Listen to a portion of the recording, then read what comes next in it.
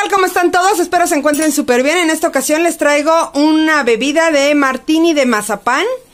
Es prácticamente súper fácil de hacer y extremadamente delicioso.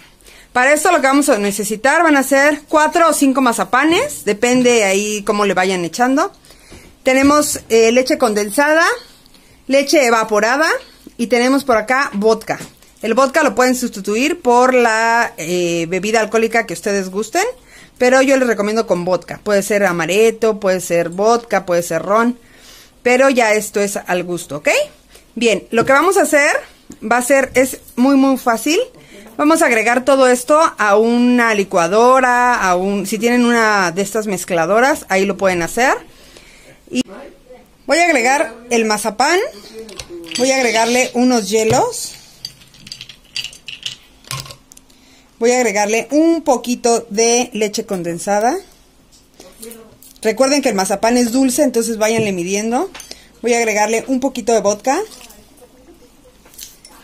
Y la leche evaporada.